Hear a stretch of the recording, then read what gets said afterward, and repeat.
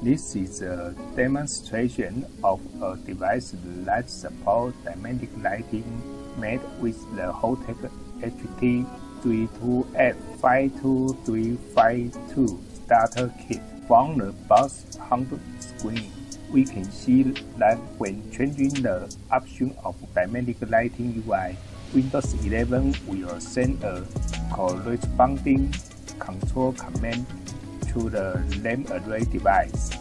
If you are interested in how to implement products that support dynamic lighting, you can continue to watch the introduction of this video. Thank you for joining us and let's dive right in.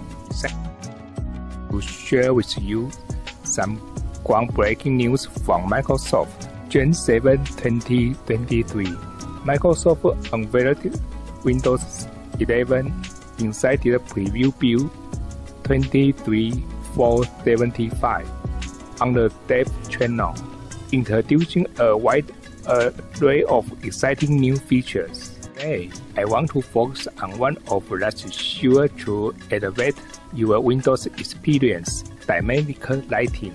Dynamic lighting aims to bring cohesion to a fragmented ecosystem, providing Windows users with seamless and impressive experience that will consistently delight and amaze.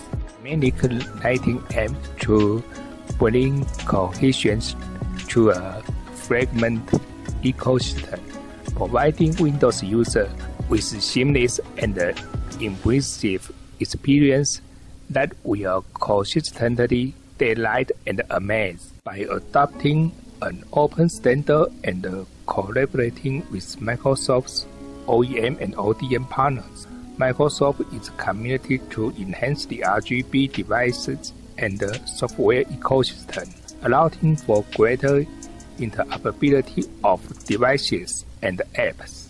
Device manufacturers can now utilize standard firmware, paving the way for new native experiences across the Windows OS and apps without the constraint of experience proprietary firmware and software development. Now, let's delve into the incredible experience that dynamic lighting offers. Imagine effortlessly synchronizing lighting devices from different brands within Windows settings. Users only need to operate the UI of dynamic lighting to change the color between devices and even display them synchronized.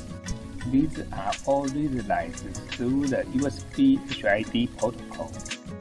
And I add the definition of use page equal 0 by 59 to the USB HID protocol to complete the devices shown this time. We'll explain how I do it one by one in future videos. Above is today's content. If you like this topic, you can tell me which part you want to know in the message, and I will try my best to answer you. Thank you for watching today, and see you soon.